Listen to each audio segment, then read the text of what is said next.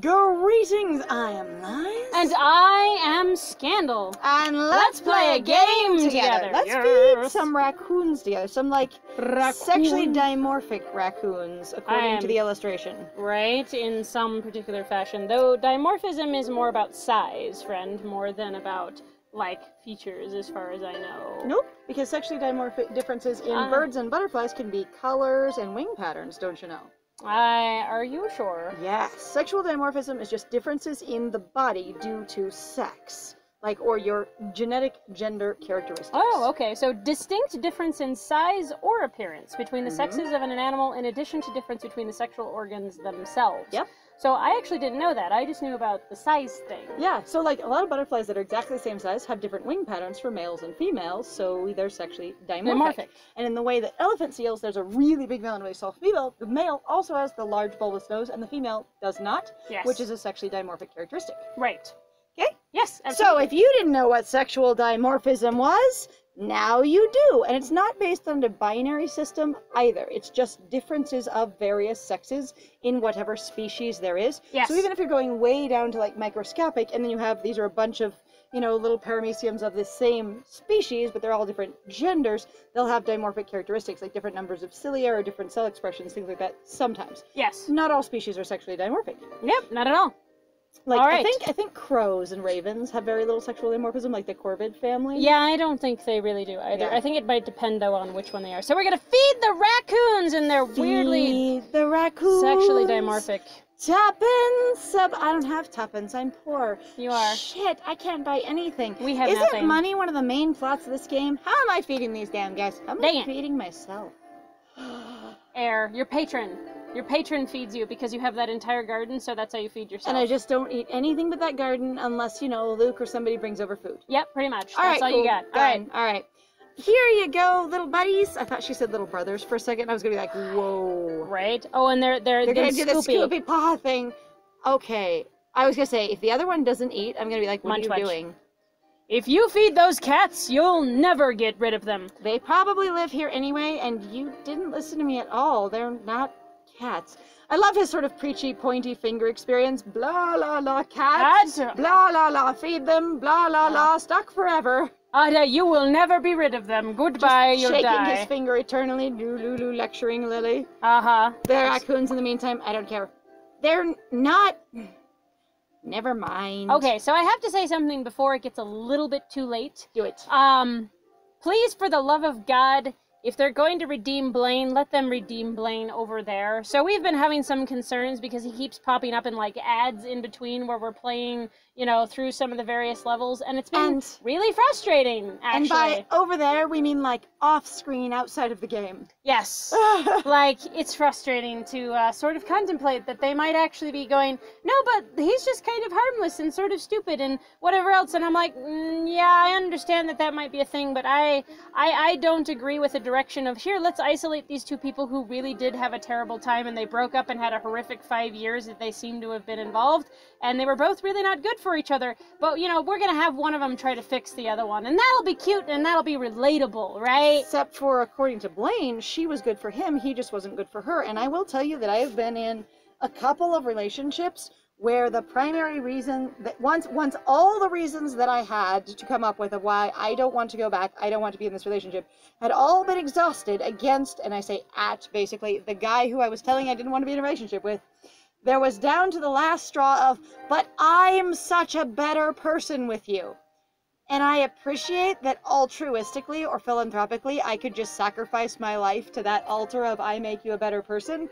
But if it contributes nothing to me and drains much from me, I don't see why I should do that. Yes, especially now, since that was also much younger for you too, of where you're like, I don't know how to get away from people that are, yeah, doing or performing that sort of behavior. Even when. I have gotten away from a relationship, but they're still trying, and I've, I've successfully cut it off, but they're still trying to int- reintroduce it anyway. There does get to be the, my friends have told me I'm a better person with you. I know I'm a better person with you. And I'm like, that doesn't give me anything from this relationship. And right now I want to say that I'm in I'm in an unhealthy enough place that I feel like that sounds selfish to say that I need to get something from this relationship. Oh, and I'm going, no. but people should Do, be able yeah. to get things out of their relationship. It Mhm. should also contribute to them. And I've heard from from other women going, yes, but what you get out of it is being so good for them and the satisfaction of building them up, caring for them, fixing them, training them, and just just parenting them basically or caretaking for them. And I'm like, I don't need to get personal satisfaction of my life out of caretaking for another person successfully enough that they do better in their life only while I'm there. No kidding. That I can't equip them with any skills and abilities and support that they can use when they're not with me, but if they're with me, they're such a better person. I'm like, it's almost like you make more, you do more when you're on a team than by yourself. uh, That just seems basic logic. If the team Yeah. is working, you just you you do more on a team than by yourself. yeah, no kidding. And if it doesn't, then you don't be on a team. Guess what? Ha ha. I was gonna say, and even if like it's not a very good team, if one person is doing shit and the other person is supportive of that shit, it's not a very good team, but it does get more done than one person. Yes. So eh, anyway, think they're a couple, because I totally want to bring a relationship conversation into this conversation where I don't want to discuss my relationship with you at all. You oh. know what? Aren't they cute, stupid cats? Bye. Look Please at leave. what else can we fix up around here? Jeez. Have you seen any kittens around? Uh, They really are just like he's the biggest fucking moron and cannot listen and will not listen and refuses to listen even when it's directly like aimed at him. I think they're doing, yeah, the, the refuses to listen, and what they're really trying to drive in here is not that he's stupid, so much as that he's genuinely not listening to what Luke says. I'm not sure that's it, but I feel like that's it. That he just isn't paying attention to her and has having his own experience with himself. In the same way that basically they're demonstrating again that they never connected well. He never was sympathetic to slash interested in slash related to all the things she cared about. Sort Yes. of like her caring about her saying that things are cute, her caring about her saying that she likes art or music or other has other passions, and him going, I don't really connect to or care about any of those things, and that even while they're doing stuff together, that she's describing why it has value to her, he will not connect to it, going, So the important piece to you might be Brock's? Potentially? But I'm still afraid. I'm very uncomfortable with the situation. Again, I am she afraid- does not need to help redeem him No. at all. And the fact that they keep playing this game like it's sort of a lighthearted, friendly comedy bothers me with again sort of the what I consider to be dark, serious subject matter. Sort of uh, having an abusive ex push his way past your boundaries and back into your life. And also That sounds like a very serious book, honestly. If you're Yeah. like, yeah, so a young woman leaves her fiance suddenly, essentially in the dark of the night, um, to you know go and uh, try and rediscover herself and make a new version and, and, and you know rebuild herself at you know a property that she inherited and uh, from her you know her great aunt that died Mhm. she finds out the property is a destroyed ordeal to get through with a bunch of caveats. She invests a huge amount of emotional and physical labor into trying to repair it and reinvent herself away from him. And then he comes back into her life and pushes his way in desi- despite multiple asserted boundaries and displays the same kind of controlling, dismissive, and painful, you know, harmful behavior that he did before, which causes her pain. And they're like, isn't that charming and funny? What a cute story for the masses. Mm. Sounds a little dark to me. Yeah, kind of. Kittens! You're unreal. Oh, I didn't realize how late it already was. Huh. Aye. That Okay. actually just like, oh, wait, I didn't realize that.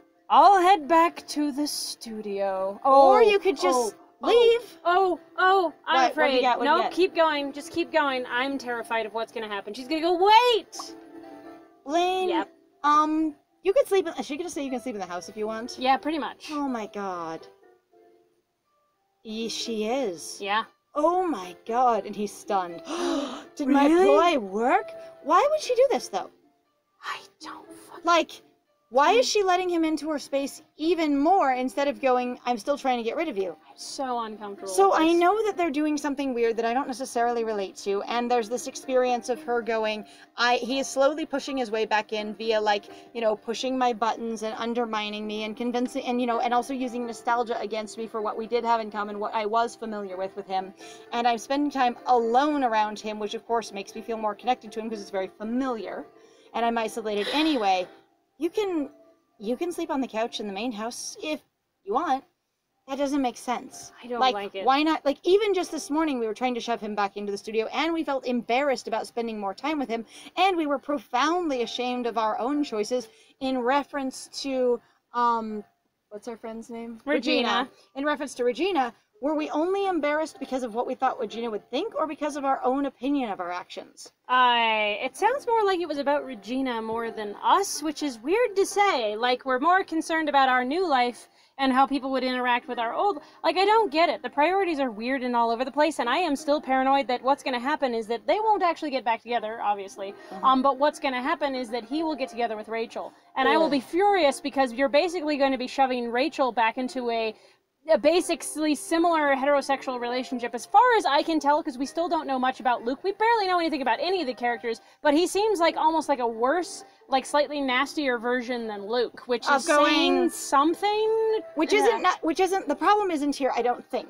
based No. on my friend's language, that it's a heterosexual relationship. Into Yeah. a weird heterosexual, no, just into another relationship with an adult baby man, if you will, Uh-huh. that she will then have to caretake for, raise, and help his organizational skills. His Huh. chaos will contribute to my order, and him going, Lily, you just made me so organized. You helped me do stuff, so then Rachel can do it better, or again, Or, or the same.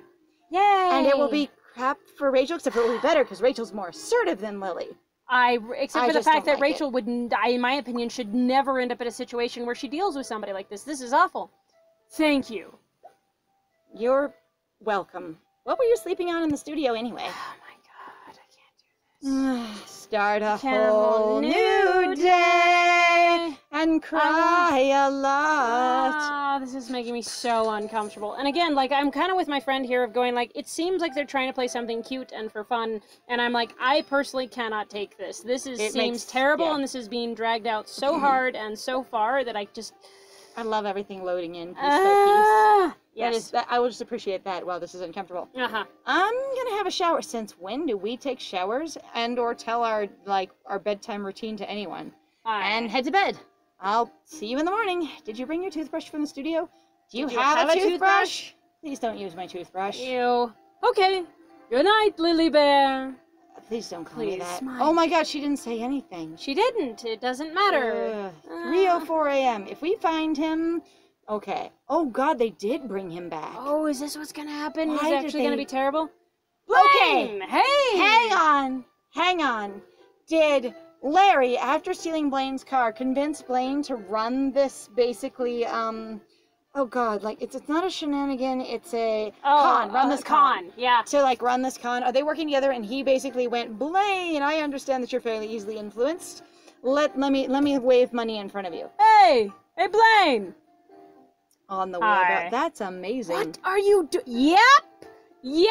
I'm vindicated. Thank God. Yeah. What are so- you doing here, you idiot? Oh, I want in. I. I'm just checking up on things. Uh, he's still drunk. Yeah, and also, guess what? Here we go.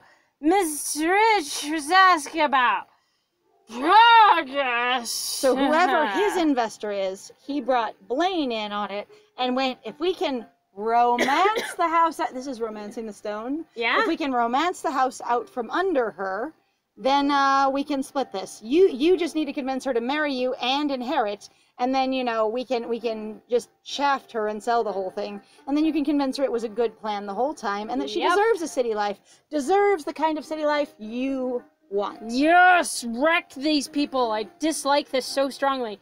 Things are progressing fine. I think she'll get it all done. Now get out of here. You're going to wake her up with all your yelling. Oh yeah, totally. Just promise me I'll give him a share. Ugh. Take it up with Mr. Rich. He's handling the money, not me. I this is weird as hell. Do we This get to meet Mr. Rich at some strange. point? Fine.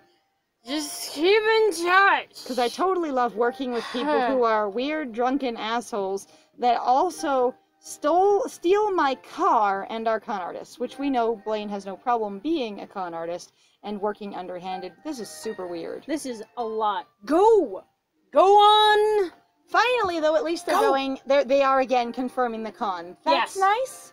Finally, they can take a little bit of the pressure off of us being afeared that they're just going to give him an, a, like a really clear redemption arc and go, holy shit, no. Yeah, no, this is terrible. Ugh. Alrighty. Uh, good thing he didn't notice me up here with the lights on, stargazing early in the morning, mooning over Luke and my problems with him that don't involve or concern him and only me. Da da da. I mean, uh, Thank all right. God. Well, thank goodness for that. Well, uh, we didn't get back here quite fast enough for it to uh, load in that for um to see the, the the next day screen or day number twenty one. Now is it? I think it is 21. Anyway, so. uh, but that was definitely there, and then other than that, we didn't miss anything. but Blaine is having an experience with himself. yeah, pretty much. Good morning, bees! So we could just sit there and record him doing that and being like, "This is how everyone feels stuck indoors in quarantine." Oh my god, hang on, hang on. okay. My name is Michael with the B, and I'm Oh, afraid God. of insects. Hang Wait. on, hang on, wait a minute. What? Where's the bee? The, Oh my what- God, a the, the bee? Oh, it's a, my name's Michael with a B. The B is silent, and I have a terrible fear of insects. Where's the bee? Oh my God, there's a bee! That's the one. Yes, the one. I love that one. Yeah, that's There's a a bee. good vine. Very so good vine. good. Good morning, flowers. Okay, okay. So here's what we've This got is so here. performative. So I was gonna say, one, this is very performative, but two, you guys, I'm hoping that that all the viewers here are are aware that Superman exists, and that Superman's basically it has been broken down that Superman's like critique on what humanity finds valuable but dismissible is Clark Kent. So Clark Kent is his made up persona yeah. of here's what a good working class but forgettable person is like Yes. and he's really successful in it. So that's his his um, interpretation on method acting of what a normal ass dude is like, right? Yes. Um, but that is still you know employable and has white privilege. yes. Shockingly. and um, so Blaine is so that's his uh, that's a Superman's critique because he isn't Clark Kent. He is Superman. I was just say that's his uh, idea and interpretation of what society would want in a person. And Blaine is trying to perform what he interprets Lily would want in a guy. So all of his nature loving, you know, bee hugging, I'm in touch with my soul and I am an artist kind of thing is what he thinks she will care about. And he's so bad previously in their relationship that he's wrong even now with his best guess at what she will find valuable and important. Do you know what he is? Hmm. He's a caricature of Luke. That is why they seem so similar. Oh, To me, God. I just realized what he's doing. He's acting like Luke. he's trying to He's he's, trying to be making an exaggerated gruff. caricature of Luke. Scruffy, kind of smells a little bad, isn't taking care of himself as well, is being artistic. Uh-huh, he's an artist because she's into the artist next door. Uh-huh. He is trying. And I'm good with the kid because clearly Luke is Uh-huh. good with kids because he's got one. Yep. No, no. And I... I'm here to help you because Luke's clearly been over and helping. That's disgusting. He's doing a weird parody caricature of, of Luke, assuming that's what she likes, sprinkled in with whatever he thinks she likes from previously. Yeah, no kidding. Oh my god. And Rachel was just like, I love your art. And since she's aggressively kind of shat on Luke's art, that kind of bothers me. Yeah, kind of. This was my actual husband, and his art was like, you know, not valuable. But yours, yours, Blaine, looks like it'd be worth money. Right. Except for the question then that I'm going to ask is did he actually paint it or did he run off with something that he stole from the studio because we didn't actually try looking at it And Lily didn't really look at it at either. all. So, eh. All Good right. morning, flowers. Good morning, wheelbarrow. Hi, what are you called again? I forgot what it was. What a beautiful morning. I should go get my easel. No, you shouldn't, actually. Good morning, Blaine. I. Hmm, Lily Bear, good morning. right. Ah, Okay. I hope you murder him. Ah, I was just about to. shove you down the basement stairs, but I didn't want to break the pretty glass. Oh, I mean, let me stop you right there.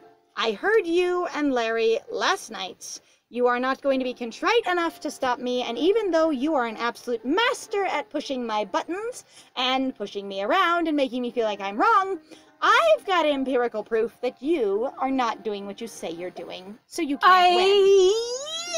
I. And I will be assertive, because the new Lily is assertive. Don't talk, please. You ruin things when you talk, especially for me. I went to sleep angry last night at 3 a.m. Angry at you for lying about why you were here. Why was I up till 3 a.m.? Right, angsting over everything. Okay. Yeah, probably. Uh huh. Angry at you for trying to manipulate me into ditching Regina. Also, Ah. really angry at you because I was staying up being moody, somewhat about you and nostalgic about us, in contrast to my interest in Luke now.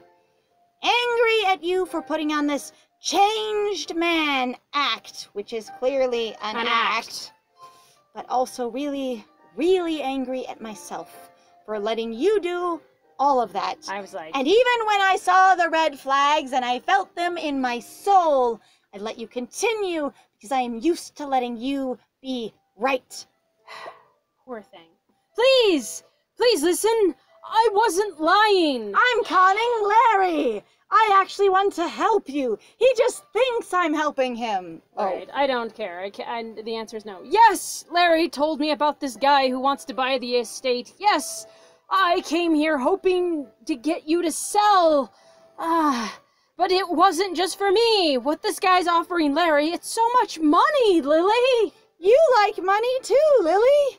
I know this. We could do anything, go anywhere we wanted. So it is where it is. It's like it is partially about me trying to get you back. Okay, really. okay, okay, okay. So I know we're almost out of time, but I have to do this really quick. So every dating game that we've played so far um, is basically about the guy's experience. Yes. Even when it is you are the main character and it's pitched towards a girl playing the game, like that's your primary demographic, eh? people who were raised or assigned as women or are currently girls and women, there's this experience of the guy sort of pulls you along with his dreams, his interests, his fantasy, his desires. Yes. Like the the dates are his idea, the activities are his, His idea, idea. the stuff that happens even when you show up in a romantic scene together. And I'm looking at you here, Julian, is is in from the Arcana. If you haven't seen it, it's really funny. I recommend it. If you enjoy the shenanigans we get up to here, you might really like it. Different Yes. kind of game, but you might really like it. Yes. Anyway, um, that basically he's going our dreams anywhere we wanted, and it happens over and over and over again in those games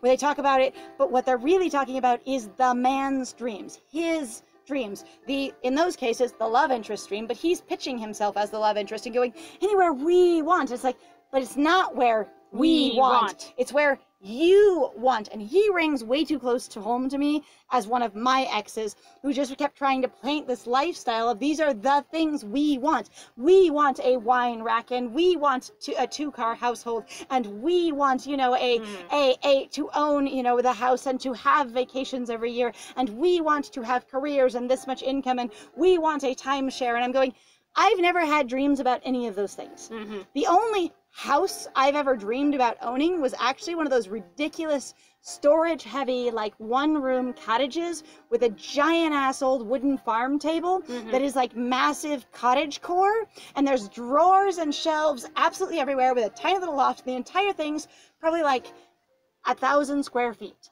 All of it. Right. Very tiny, very small. Maybe only like 600 square feet, somewhere Comfy. in there. Like comfy, cozy, friendly. That is the only thing. And then you have like people sleeping on couches and floors and up in the loft and on your bed and on the, you know, everything. And that's how you have guests. You don't have guest rooms. You don't have a mother-in-law suite. Yeah. You don't have any of that weird stuff. Not even a garage. Just, you know, maybe like a carport so your your car doesn't get hailed on. Right. Some sort of cool trellis thing. Anyway, so I feel like that's what he's doing here. He's talking about his dreams and trying to pull her in on it in the same way that he used language before to make it sound like us instead of me. Yes, absolutely. I called you a cab. It'll be out front soon. Get your stuff together. I hope you didn't quit your job over this and that you actually used some of your paid vacation to do this lie. Because otherwise, you're gonna have to start over, my dude. Completely. Yes. All right, well, um, my, my Yeah, screw that, and also lowercase Blaine. We're gonna say goodbye to him. So thank you very much, Blaine. Uh, Goodbye, Blaine. Blaine, Blaine, Blaine. So thank you very much, guys, though, for joining us. If you like what we do, please feel free to like, comment, and subscribe. And please also feel free to go check out our Ko-Fi or Patreon. We've got some links in the description down below. Please also feel free to share our videos if you feel like uh, any of them have inspired you today Yep. or at any other point. Um, we certainly would appreciate it. Other than Yes. that, though, I have been Scandal. And if you think anything we say is quotable or meaningful or helpful, feel free to like write it down or save it or you know um, capture it for yourself in some way. Because sometimes I have that. I'll hear someone say something really cool that really speaks to me, and then I'll be like, "What was that thing?" Like six months later. Right. So I've got a hobby of collecting quotes, and so if there's something that really speaks to you, feel free to like take it down for yourself. Okay? Absolutely. And I have been Lies. And it was great playing with you. Bye. Bye.